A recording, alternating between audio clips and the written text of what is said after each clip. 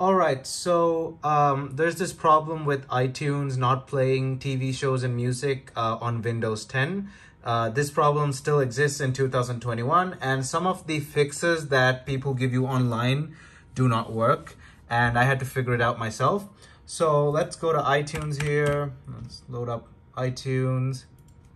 And the usual fix here is to go to uh, Edit and Preferences and then you want to you you want to click playback and then you have to change uh, direct set you got to switch between these two but this doesn't always work so anyway go go ahead and select direct sound and restart itunes uh, I've already done that, so it's no big deal.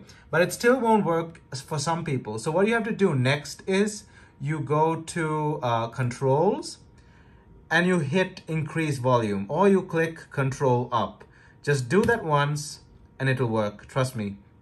Um, I don't know why that does it, but it does it. So you can either hit control up or you can just hit increase volume. That will get it to play with sound.